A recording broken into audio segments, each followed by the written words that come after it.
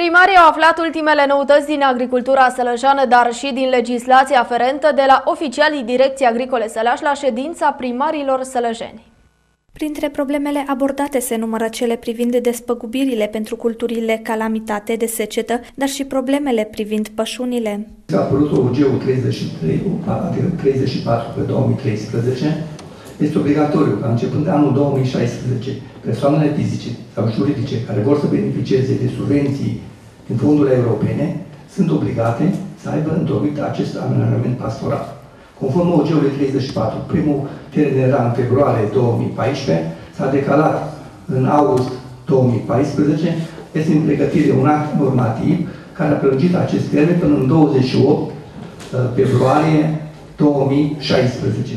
Acele persoane fizice sau juridice care nu vor avea întocmit acest amenajament pastoral nu vor beneficia de fondurile europene. Și nu vrem să creăm probleme cu producătorii agricoli. Știți, și anul acesta, ce discuții au fost cu asociațiile crescătorilor de ovine, de bovine legate de, de aceste pășuni.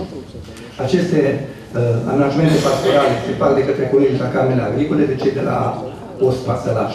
O altă problemă importantă este legată de Ordinul 734 privind uh, normele de completare a registrului agricol. Uh, și anul trecut și anul acesta, foarte multe persoane fizice au vrut să schimbe categoria de folosință a terenului. Foarte mulți secretari au spus că nu au actul normativ pe baza căruia să facă această schimbare a categoriei de folosință. Dacă citiți acest ordin 734 pe 2015, se spune clar cum se poate face schimbarea acestei categorii de folosință a terenului. Persoana fizică merge în fața primăriei, în fața secretarului sau notarului public, dă o declarație pe proprie răspundere și se face schimbarea categoriei de folosință a terenului.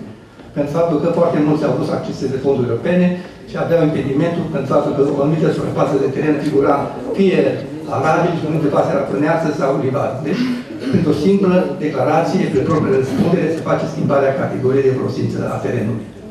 Împreună cu Comitetul pentru Situații de Urgență de Județ Săraș am centralizat datele legate de fenomenul secetă. Am avut o mare surpriză.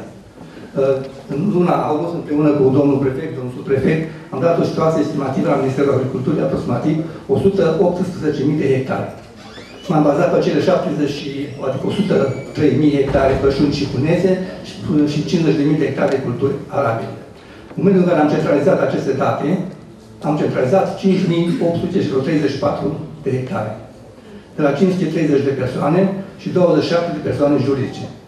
Dacă situația reală este aceasta, eu mă bucur. Dar de ceea ce am văzut în teren, situația este cu totul alta. Dar problema cea mai mare va fi în momentul în care acei producători agricoli care au făcut aceste cereri vor primi despăgubirile. Și atunci va veni persoana vecinul dintr-o comună și va întreba, domnule, eu de ce nu primesc? Și va invoca faptul că nu am fost informat. Deci îmi pare foarte rău și vă spun că sunt informațiile circulă foarte greu. Avem în județul Săraș doar 23 de comune care au depus cereri pentru fenomenul secetă.